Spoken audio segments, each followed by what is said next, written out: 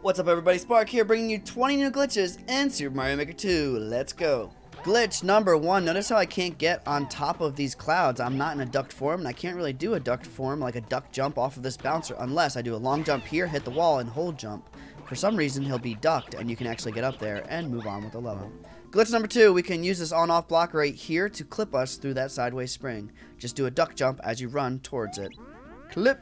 Glitch number three, these blocks explode on this beetle. It'll flip over and land on this corner. When I jump on it, it's going to hit the wall and then just stop for some reason.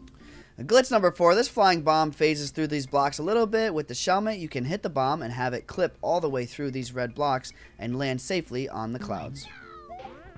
Just like that. Notice how high it gets. Now, if there is a blaster right here, it'll instead clip over to the right and land safely over here.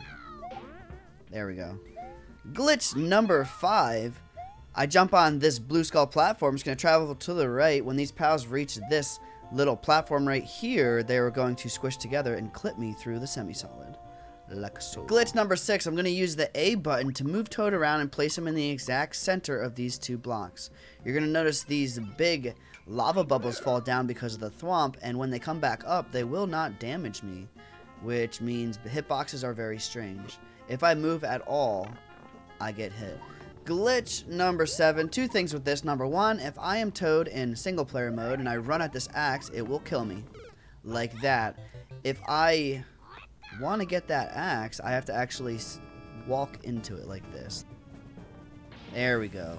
So you can get the axe as long as you're not running. In co-op mode, no, multiplayer versus, if I run to the axe, I should die. And the axe should land. Yep, so I die, the axe gets hit anyways, and I get stuck on the wall.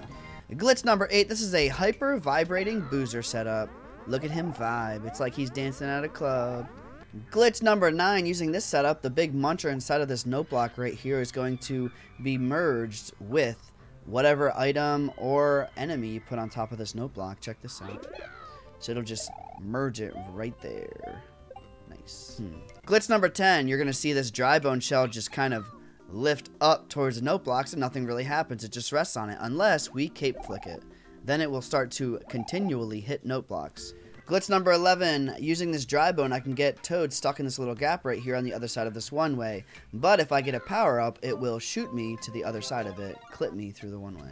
Glitch number 12, Burner pushes this launcher over to the left a little bit, which introduces two interesting things. Number one, this spring right here will depress down a little bit, but it won't actually do anything, and it doesn't always even collapse. Sometimes it does. Now, if I go up close to this launcher over here with the one-way, it will do a mass ducking scenario.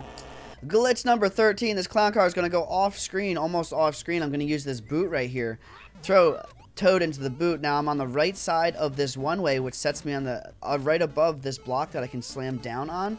And when I go into the clown car, I can actually go through these one-ways. Glitch number 14. This is an interesting little setup in which you cannot actually grab this shell if you're hanging off. However, if you do an edge jump, you can grab this shell. So I'm going to run from over here and jump at the very last second, and I will be able to grab that shell and uh, use it apparently. Or something like that. I don't know.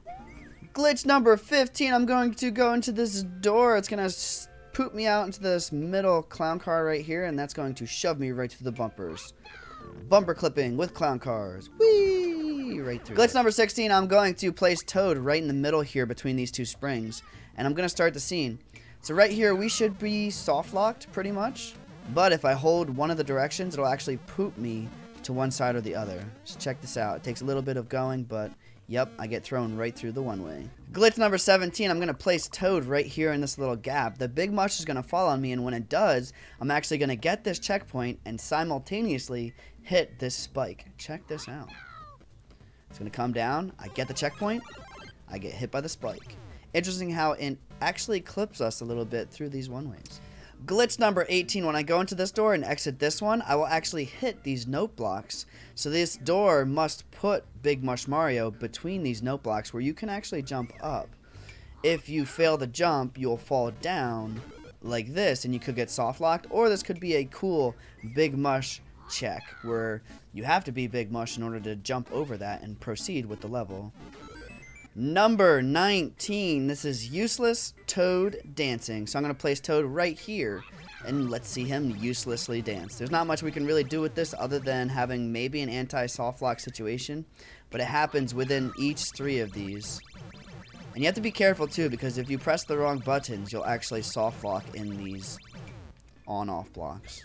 This one's a little bit more finicky, but it works just the same.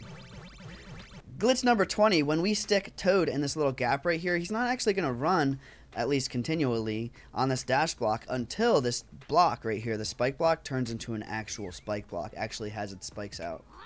So notice how Toad is just kind of standing there. When that turns into a spike block, he will start running. Bye. Thank you so much for watching today's video. Make sure you like, comment, and subscribe to the channel. And I'll see you in the next one. Peace out.